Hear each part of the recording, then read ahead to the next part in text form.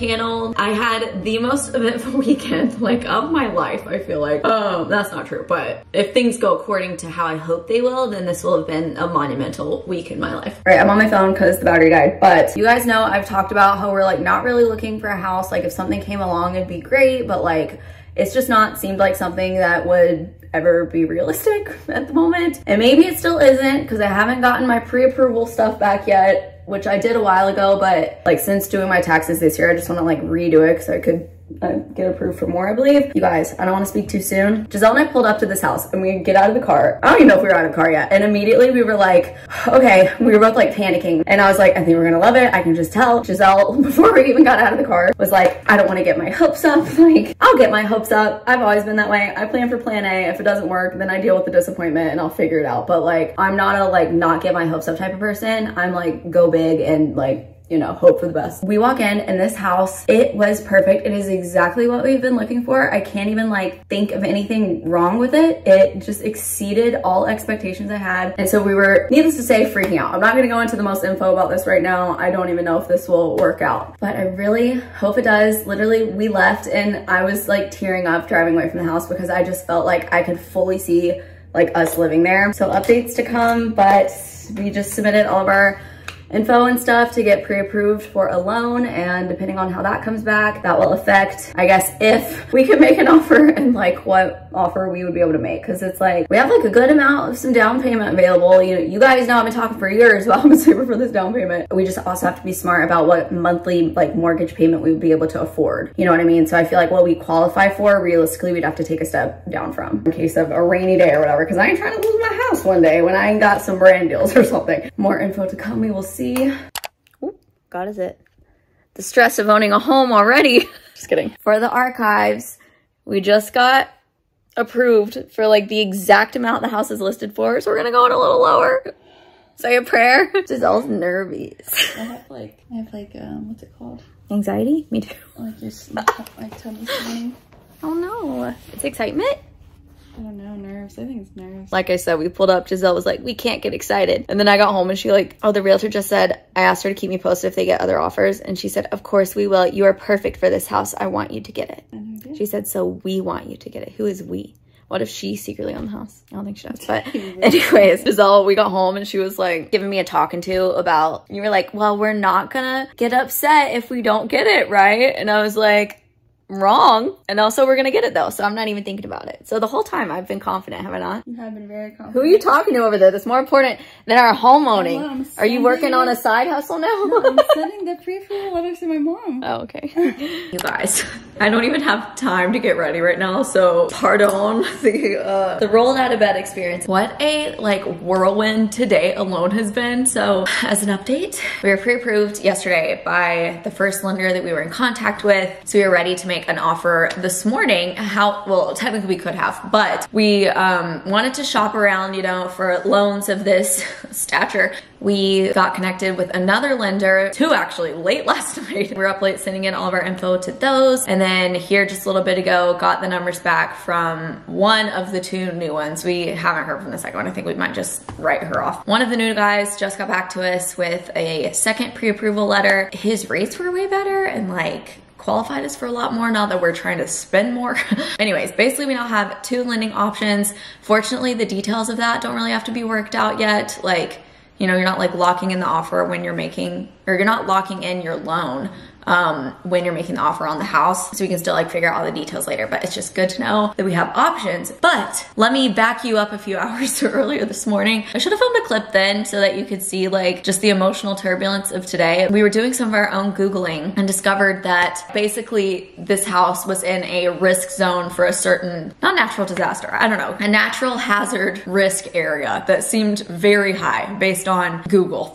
and so we were like, what the heck? So I'm trying to like do research everything I'm finding online is like on not very legit websites. Like that's the other thing. It's not like these were like government websites. So we're like getting disappointed. Our realtor was trying to get information on this, but I guess in California, which is different than North Carolina, I guess they don't have to give you the statement of like a natural hazard whatever disclosure statement they don't have to give that to you until you're already in escrow. Meaning you've already like made the offer and they've accepted it which i think is just so weird. My parents have their um, real estate licenses in north and south carolina and they were saying that that's not the case there. So basically the agent was just seeming a little sketchy like we're not going to give this to you until we're in escrow which made me think like all right well it's obviously just going to like back up what i found online. But then fast forward she sent it to me anyway and was like fyi this is not standard to give this now which again whatever you know doing what i gotta do. Hopefully not ruffling too many feathers, but she sent it and it's not in this hazard zone that we were led to believe it was. So now I've gone from yesterday thinking, you know, firmly believing we're gonna live in this house to, all right, this would be a terrible decision to live in this house because it's just gonna like vanish and we're gonna be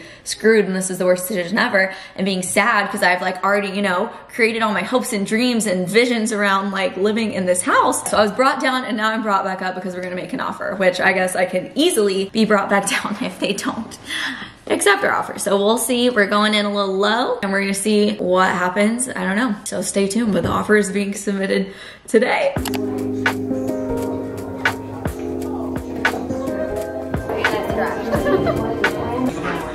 Counter, what is it? Counter. And then what deposit? What's the counter? Is that good?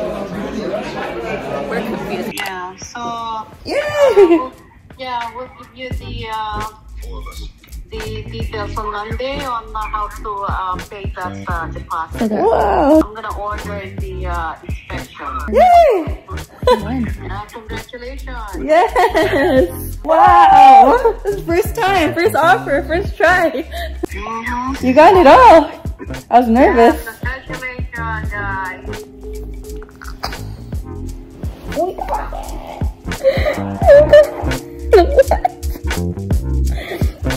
Good we asked. All right, we are heading out now to our home inspection. Buying a house is a process, you guys. We did not realize like just how time consuming just everything is shopping for home insurance quotes like doing getting your loan figured out which is like a whole ordeal for both of us or me especially because i'm self-employed. It's been a lot of reading documents but we're on to a more exciting task um, which is all driving us over to again the home inspection the pest inspection.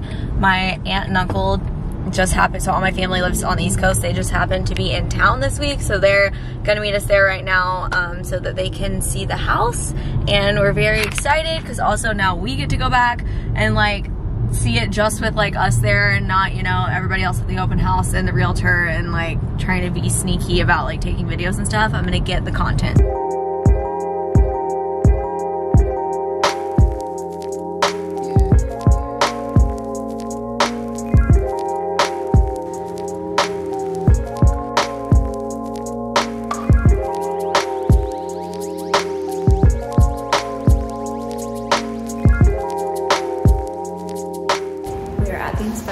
appraisal is happening, the regular inspection, the pest inspection. We just saw a neighbor drive down the street. Looked like a cute mom and a kid. Good area. We're finding so many little things that like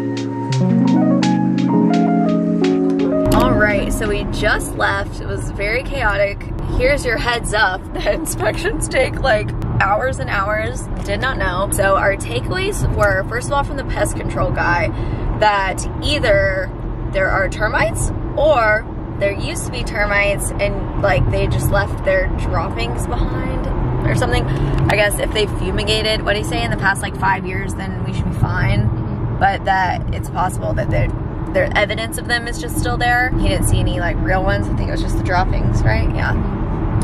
But anyways, um, so we have to find out if it's been fumigated in the past how many years. If not, that's a problem. Secondly, the regular inspection came back with one very major thing, which is that like half the house, basically, I guess this is like done in two units. Again, I don't know anything about any of this, but like the heating and cooling and the hot water and whatever, I guess half the house works and the other half. So that is a giant issue. Now basically we have to figure out after all the official reports come in if like this is something that, I mean, I want them to freaking fix it.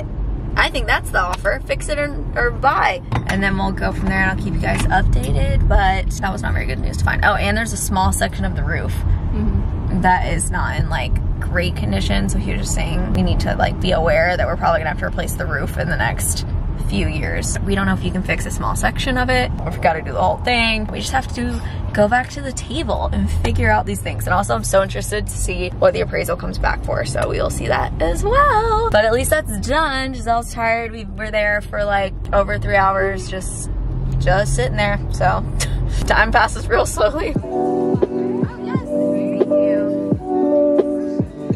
Oh, okay, okay, we have news. Here are your options to guess. Do we buy a house? Are we engaged? Or are we moving out of state? What?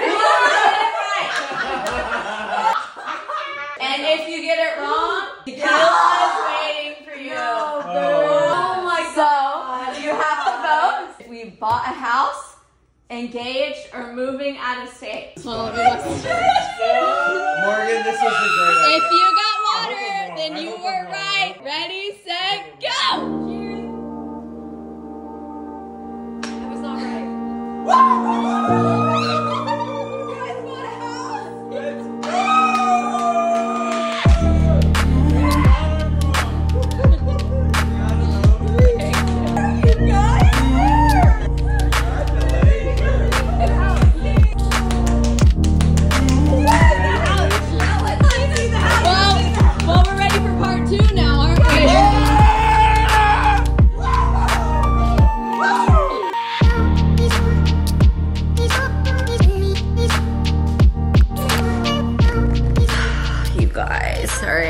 Update on the current state of affairs. Going a little bit south from a few days ago. We were at the house again. I think that's where I left off. All was, you know, we're all happy. We find a few things um, that the inspector like notes in person, but then we get the full report. So many things are on it. Just something to be aware of that we learned from the inspection is that the other heater, water heater and like air heater for the other half of the house is old as can be. Like it is past its life expectancies and are the ones that aren't working. So they're gonna repair those. They did agree to that, like to be in working condition, all the things that aren't working. But like they're all so old, like we're gonna have to replace them basically at like any time, like time's taken on all of those. So like that's just added expenses that like we expected we're gonna be, you know, working. Like this was like a flip and fully remodeled and turnkey condition, which I guess like if they repair it, technically it is. So we needed to get the info on like if it had been fumigated and it doesn't seem like there's any knowledge of that, at least from this guy who's flipped it. So obviously we can't, we don't know what happened before that, which I always thought that was like termites were like a life or death like situation like so serious. I mean it is serious but like i thought it was this huge expensive thing to get fixed and the quote we got which was from the inspection company so we can go elsewhere and get it for lower. But that's another thing on the list. There's just like so many things we had to spend hours typing up this whole repair list, sent it to them. With all of that, the appraisal came back and it is like $73,000 lower than what we're under contract for. So keep in mind, they listed this even well above that because we got it at a good price. So we got the appraised value. They counter offered us with like their, you know, haphazard repairs that they're gonna fix. And then still want to sell at $10,000 above the appraised price. Other realtor, he's friends with the seller. He's like, well, the seller's losing money. And I'm like, well, even if that were true, that's your bad. Like that's, you know, business, you make money, you lose money.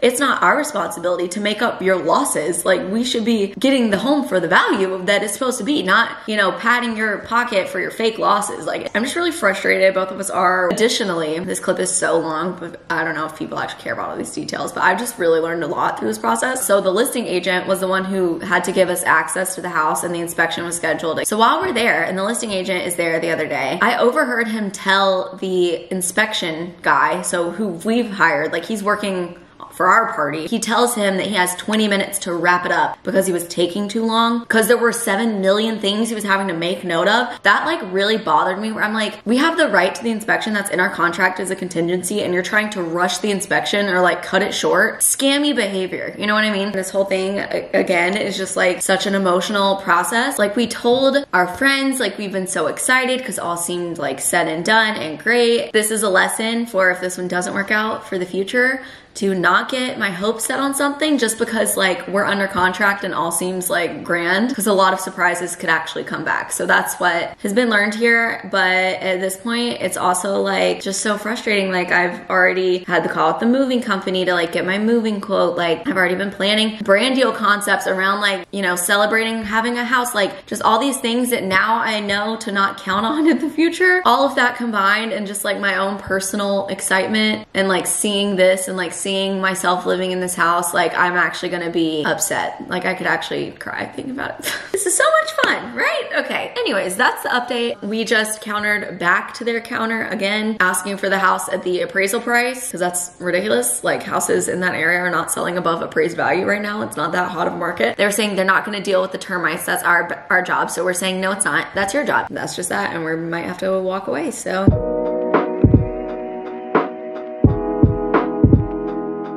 Hoping this is not gonna backfire, but we are putting in our 30 days even though we haven't closed on the place yet. There's, I guess, potential for something else bad to happen that could just screw us really big, but it seems like everything's worked out. We're trying to get our new closing date, which may or may not be delayed because of everything that's been going on and all the repairs and whatever. So this is making it official and we're gonna hope and pray that this, there are no more surprises at this stage.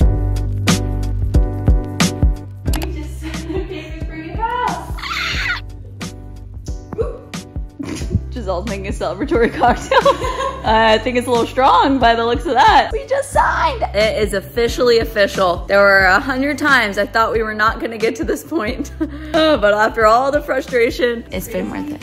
But you said from the moment we walked into that open house, even with all my doubt, you said you're gonna get what you want. It's delusional confidence for me. Anyways, it worked out. Thanks for watching this vlog. Moving vlogs are coming up. I cannot believe it. We gotta get to packing. Just spill that. This Look at this cocktail, literally to the brim. I pulled a U. Anyways, we're gonna watch the challenge and celebrate from the couch.